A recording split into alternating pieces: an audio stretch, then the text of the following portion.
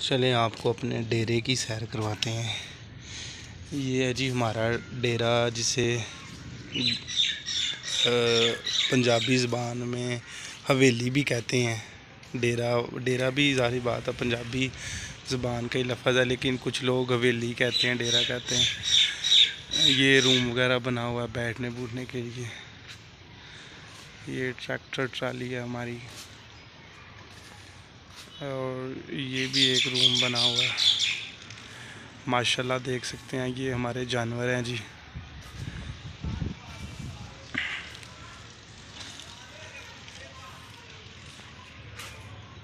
ये मैं वीडियो बना रहा हूँ और ये वीडियो में हिस्सा डालने के लिए मेरी तरफ़ देख रही थी।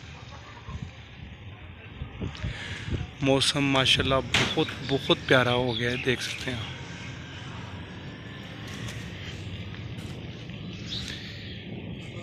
ये तूड़ी पड़ी हुई है, जो कि इन जानवरों को डाली जाती है। लो जी, इन्होंने भी वीडियो में हिस्सा डाल लिया अपना।